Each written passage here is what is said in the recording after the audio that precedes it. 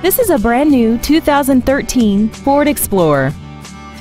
This SUV has an automatic transmission and a 3.5-liter V6.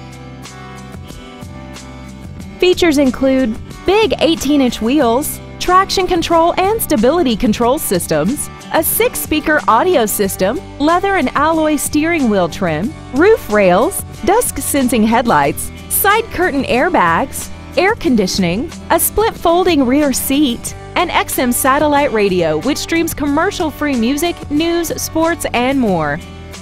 Please call us today for more information on this great vehicle.